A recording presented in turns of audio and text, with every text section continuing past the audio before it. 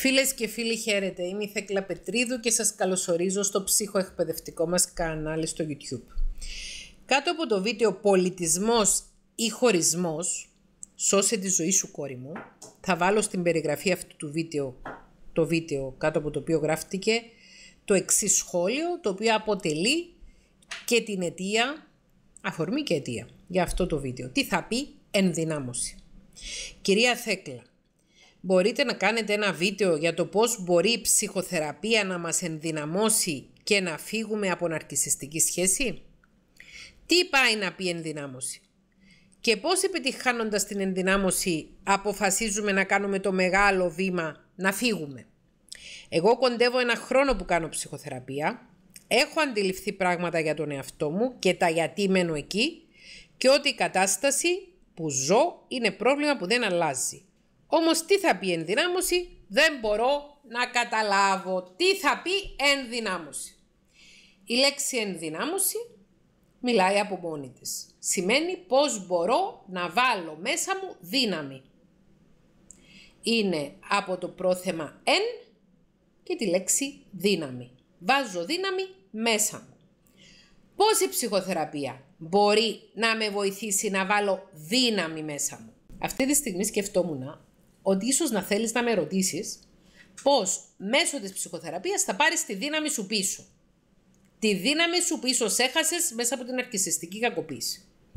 Αλλά σκέφτομαι επίσης ότι πολύ πιθανόν να μην ήσουν ποτέ δυνατή. Όπως και πολλοί από εμάς δεν υπήρξαμε δυνατοί μεγαλώνοντας. Γιατί δεν έχουμε μεγαλώσει σε ένα περιβάλλον στο οποίο οι γονείς μας να έχουν έγνοια να καλλιεργήσουν τις ψυχικές και πνευματικές μας δυνάμεις.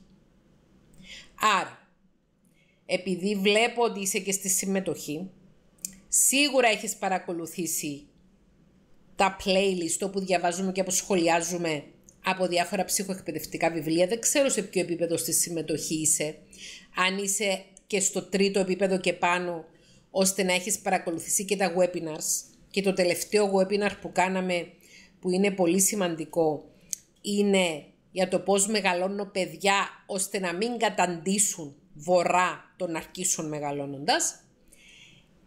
Μία καλή διαπαιδαγώγηση από καλούς γονείς, από good enough γονείς, από αρκετά καλούς γονείς, έχει βασικό στόχο την ενδυνάμωση, την ψυχική, τη συναισθηματική και την πνευματική των παιδιών. Όμως δυστυχώς οι περισσότεροι γονείς μας έχουν μεγαλώσει στοχεύοντας το να είμαστε ιδιαίτερα αποδυναμωμένοι. Υπερπροστατευτικό μεγάλωμα, εξαιρετικά αυστηρό μεγάλωμα, υπερβολικά όρια, πλήρης έλλειψη ορίων οδηγούν σε ανθρώπους αποδυναμωμένους σε ανθρώπους οι οποίοι είτε παραλύουν από ενοχές και φόβο λόγω της εξαιρετικής αυστηρότητας, άρα δεν έχουν καμία εσωτερική δύναμη μέσα τους, είτε δεν νιώθουν τη συναισθηματική ασφάλεια ότι γνιάζεται κάποιος για αυτούς και ότι τους έχει μάθει να προστατεύουν τον εαυτό τους επειδή έχουν μεγαλώσει με υπερπροστατευτικότητα και χωρίς καθόλου όρια. Γιατί συνήθως η υπερπροστατευτικότητα πάει και με την πλήρη έλλειψη ορίων. Επειδή ο υπερπροστατευτικός γονιός αποφασίζει ο ίδιος για το παιδί, άρα δεν διδάσκει τα όρια στο παιδί, είναι υπερεμπλεκόμενος. Είναι ο γονέας ελικόπτερο, αυτός ο οποίος συνεχώς είναι από πάνω από το παιδί του και δεν αφήνει το παιδί του να αυτενεργήσει. Το πιο πιθανό είναι να έχεις μεγαλώσει όπως μεγάλωσε η πλειονότητα των συνανθρώπων μας, χωρίς εσωτερική δύναμη, αποδυναμωμένη. Είτε από υπερπροστασία, είτε από υπερβολική αυστηρότητα. Οπότε και γι' αυτό να έπεσες θύμα μίας σχέσης με ναρκισιστή και να έχεις κακοποιηθεί περαιτέρω. Άρα να έχεις αποδυναμωθεί περισσότερο. Αν είχες και λίγη δύναμη σου τη ρούφηξε όλοι. Οι ναρκισιστές αποδυναμώνουν τα θύματα τους. Χρησιμοποιώντας τα όπλα του ψυχολογικού πολέμου. Κάνοντας τους nagging, κάνοντας τους gaslighting, κάνοντας τους stonewalling, την τιμωρία της σιωπής, με το να τους ηρωνεύονται, με το να τους προσβάλλουν, με το να έχουν εκρήξεις ναρκισιστικής οργής και ξεσπάσματα ναρκισιστικής οργής πάνω στα θύματα τους και ούτω καθεξής.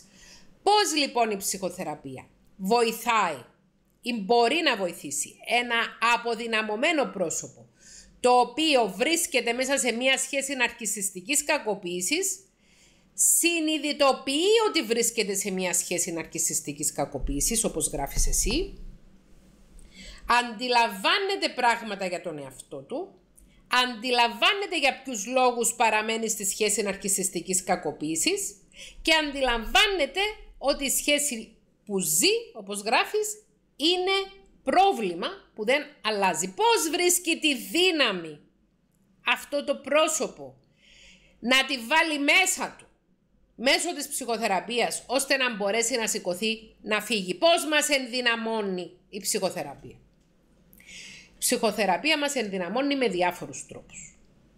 Το πιο θεραπευτικό εργαλείο στη ψυχοθεραπεία είναι αυτή καθεαυτή η ψυχοθεραπευτική σχέση ο τρόπος με τον οποίο σχετίζεται μαζί μας ο ψυχοθεραπευτής μας, η ψυχοθεραπεύτρια μας, ο ψυχολόγος μας, η ψυχολόγος μας, γίνεται ένα παράδειγμα υγιές για το πώς να σχετιζόμαστε εμείς οι ίδιοι με τον εαυτό μας και με τους άλλους ανθρώπους. Άρα, μέσω του τρόπου με τον οποίο αντιμετωπίζει ο ψυχολόγος το θεραπευόμενο, η ψυχολόγος τη θεραπευόμενη και ούτω καθεξής, μαθαίνει ο θεραπευόμενος, μαθαίνει η θεραπευόμενη πώς να αντιμετωπίζει τον εαυτό του, τον εαυτό της και τους άλλους ανθρώπους. Επίσης, η ψυχοθεραπεία μας δίνει βασικές γνώσεις, ψυχοεκπαιδευτικές γνώσεις σε σχέση με τον εαυτό μας, σε σχέση με τη δυναμική των σχέσεων μας και αυτές οι γνώσεις μας ανοίγουν τα μάτια. Η πληροφορία είναι δύναμη. Η γνώση είναι δύναμη. Όταν ένας άνθρωπος μαθαίνει και ανακαλύπτει καινούριε πτυχές της ζωής του και βάζει όνομα σε αυτά που βιώνει, ενδυναμώνεται. Ένας αποδυναμωμένος άνθρωπος δεν ξέρει γιατί δεν νιώθει καλά, δεν ξέρει ποια είναι η αιτία της δυσφορίας του, η αιτία της στενοχώριας του, η αιτία της θλίψης του ή ακόμη και της κατάθλιψης του ή ίσως και η αιτία του θυμού του. Ένας άνθρωπος που είναι αδύνατος ψυχικά, αδύνατος πνευματικά, αδύνατος συναισθηματικά, δεν γνωρίζει την προέλευση των συναισθημάτων του, δεν γνωρίζει τα κίνητρα του, δεν αναγνωρίζει τα κίνητρα των άλλων ανθρώπων και βρίσκεται μέσα στο χάος. Η ψυχοθεραπεία μας βοηθάει να συγυρίσουμε στο μυαλό μας τις δυναμικές των σχέσεων μας και το τι συμβαίνει μέσα μας και μέσα στη ζωή μας. Και όπως είπα και προηγουμένως η γνώση είναι δύναμη. Άρα όσο περισσότερο γνωρίζω, τόσο περισσότερο βάζω μέσα μου δύναμη. Επίσης η ψυχοθεραπεία βοηθάει στην ενδυνάμωση με την καταπολέμηση των κοινωνικών στερεοτύπων, με την καταπολέμηση των μαλακιών και των βλακιών και των ηλικιωδών απόψεων που έχουν βάλει μέσα στο λογισμικό μας οι γονείς μας, η κοινωνία, η pop κουλτούρα μεγαλώνοντας.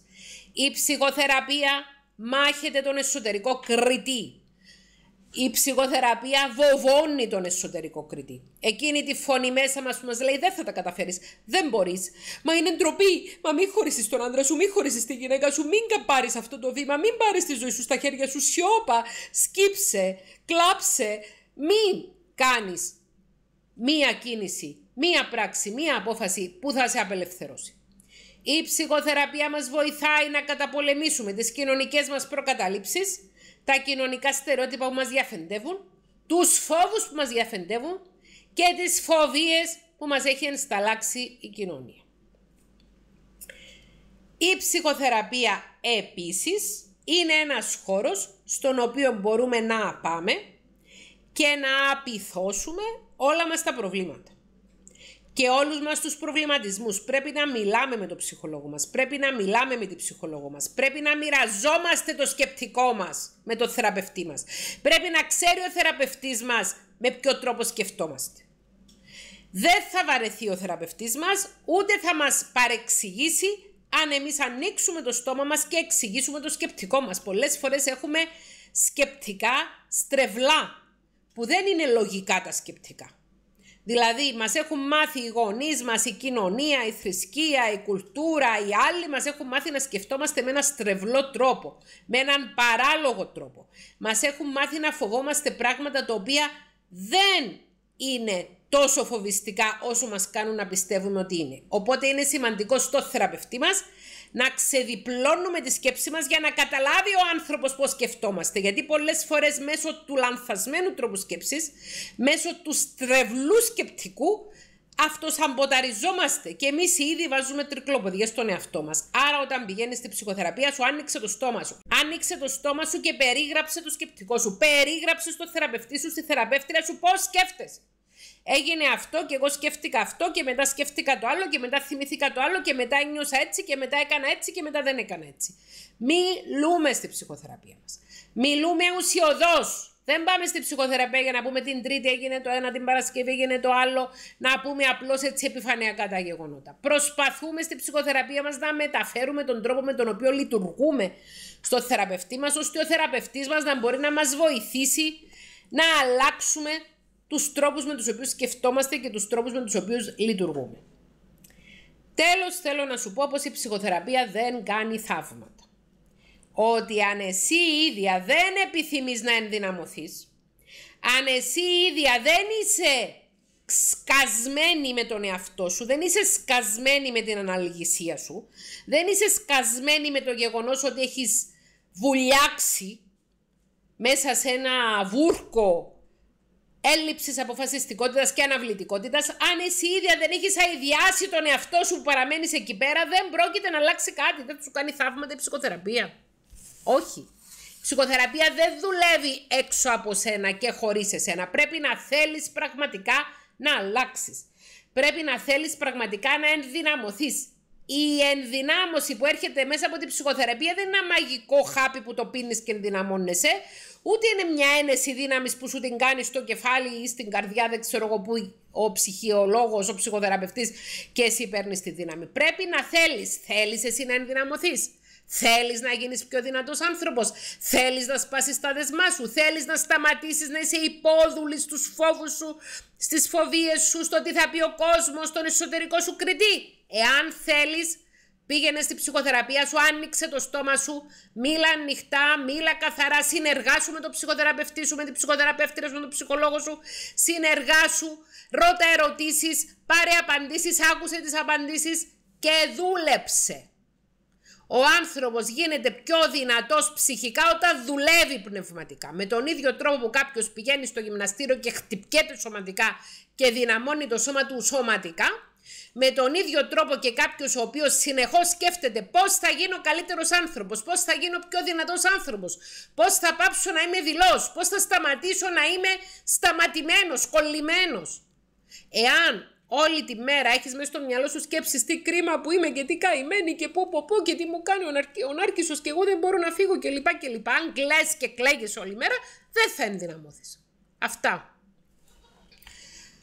Θα χαρώ πολύ στα σχόλια να διαβάσω τις δικές σας απόψεις και τις δικές σας εμπειρίες, γιατί όχι. Και όσοι έχετε ενδυναμωθεί μέσα από την ψυχοθεραπεία, πώς το βιώσατε και πώς το χρησιμοποίησατε στη ζωή σας. Σας χαιρετώ και καλή ψυχική δύναμη και ενδυνάμωση εύχομαι σε όλους μας. Γεια.